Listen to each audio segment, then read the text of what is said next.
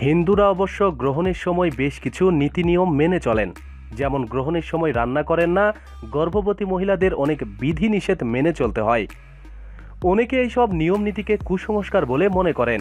তাদের মতে, গ্রহণের সঙ্গে এইসবের সম্পর্ক কী? অনেকে এইসবের পিছনে বৈজ্ঞানিক যুক্তি খুঁজে পান। তবুও বিশ্বাসে মিলাই বস্তু তর্কে বহুদূর। সাধারণত হিন্দু ধর্মাবলম্বী গ্রহণের সময় যে যে কাজ করতে নিষেধ করেন। গ্রহণের দিন সন্ধ্যের পরে শরীরে তেল মালিশ করলে ত্বকের সমস্যা দেখা দিতে পারে। স্বামী স্ত্রীকে সঙ্গম রাখতে হবে। শাস্ত্রমতে গ্রহণের সময়ে মিলনে যে সন্তান গর্ভে আসবে তার স্বভাব চরিত্র ভালো হয় না। গ্রহণের সময়ে গর্ভবতী মহিলাদের বাহিরে বেরানো উচিত নয়। কারণ গ্রহণের সময় পরিবেশে ক্ষতিকারক তরঙ্গ সক্রিয় থাকে। এর ফলে গর্ভস্থ সন্তানের ক্ষতি হতে পারে। গ্রহণের আগে রান্না করা খাবার গ্রহণের পরে খাওয়া উচিত নয়। খাবার রান্না করা থাকলে গ্রহণের সময়ে তাতে তুলসী পাতা ছড়িয়ে দিন।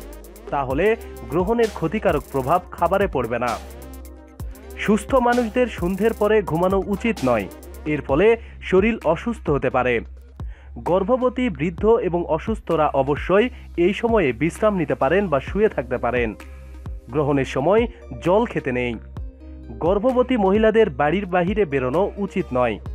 গ্রহণ শেষ হবার পর স্নান করা দরকার। প্রতিদিন সব খবরাখবরের জন্য আমাদের সাথেই থাকুন এবং সাবস্ক্রাইব করুন। ধন্যবাদ।